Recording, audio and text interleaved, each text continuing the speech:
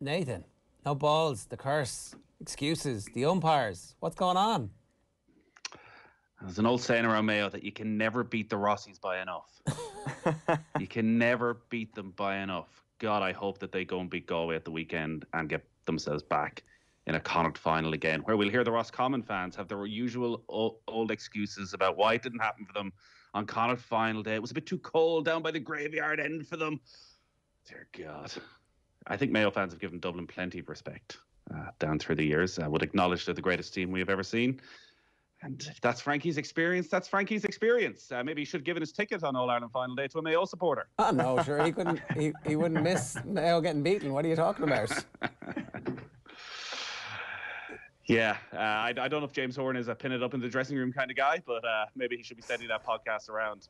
Uh, like we've taken uh, Eoin's Yera-ism to a whole new level to distract from what's going on in Kerry and the greatness of David Clifford. No, no, uh, no. The we, one we, way, the one way path to an All Ireland final and uh, beating, finally dethroning this great Dublin side. He's trying to stir something up in the West to uh, to rattle Mayo. He well, it won't work, Sheahan. He came to me with the, the offer, and I just could not turn it down. And I was like, "Yes, Frankie, we will we will we will uh, go forth with this." Uh, narrative. It's it's something that, that like I mean I, I, think I got I said on the show before as well, and there was a natural blowback, and Frankie's getting a bit of blowback from it, uh, calling it disrespectful, and all that. The, the Mayo fans don't like to be criticised, Nathan. Take criticism any day of the week as long as it's valid criticism. This seems pretty valid, though. No. What's what's valid about it? They just show up expecting you're going to win all Ireland's. Well, what you want us to roll over like most other teams do when they get to All Ireland final day? No, turn up with a bit of confidence. Expect to win. Go toe to toe with the greatest team of all time.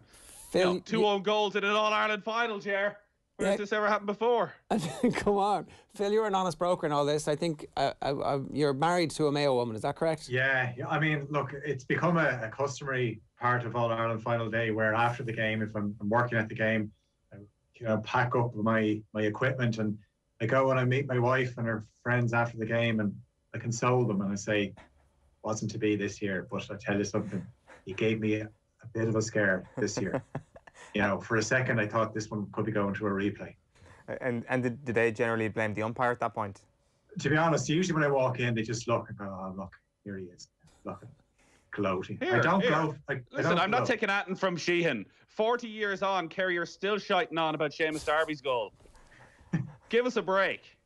Listen, uh, Mayo people will apologise to no one for going up, for playing in All Ireland final after All Ireland final, for enjoying it, for uh, enjoying the day, for pushing teams to the pin of their collar, and if it doesn't happen, respecting the winning team as Oh, they yeah. have done consistently Okay. with Dublin and acknowledge that this Dublin team are a great team. Because that's is, is- does that respect come from a lack of balls that Frankie was saying? What? I mean, does that like I mean, is it, So should, should he be a little no, bit more no, no, no. disrespectful? Should he No, be a uh, bit more here, when disrespectful? P- Pat, Pat, Paddy and Andy are probably recording later. Why don't you go on to the podcast and tell Andy Moran he doesn't have balls? They've already recorded. They've already recorded. Paddy. All right, well, next week, let's get you on on. Andy- I'm to tell these Mayo players that Andy has I'm talking about. defended- I'm, we're just talking about the fans here. We're talking about the fans here, Nathan. There's only to defend your team, and we're just talking about you. Do you see? Do you see Nathan a, a kindred spirit between yourselves and England, and the English fans? I- I- in what way, Ger? Well, I mean, very similar narrative. Ian Ladyman used the phrase "the curse has been lifted," and I immediately thought of like, well, geez, the Mayo fans are going to be seeing this as a, a bit of a, a, a harbinger of glory this summer. If England, the you know, winning in black and white, Mayo winning in black and white, I'm sure everything else is a harbinger of Mayo. Yeah, well, the last two European Championships, uh, Mayo did get to the All Ireland final that year, so listen, the omens are there. I suppose it's the the arrogance without the achievement to back it up was what the point I was getting at. Well, you can take that from Dublin supporters. Maybe you can even take it from Kerry supporters.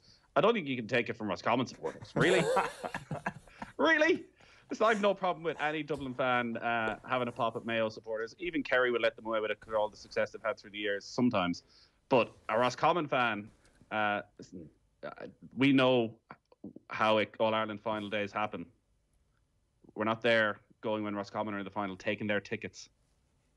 Nathan, good stuff. You've been a relatively good sport. relatively. Phil, thank you very much as well. Uh, that's uh, Phil and Nathan giving us some thoughts on the football and uh, the the brewing controversy of Frankie Dolan's comments, which have been aflame on the Mayo GAA message board.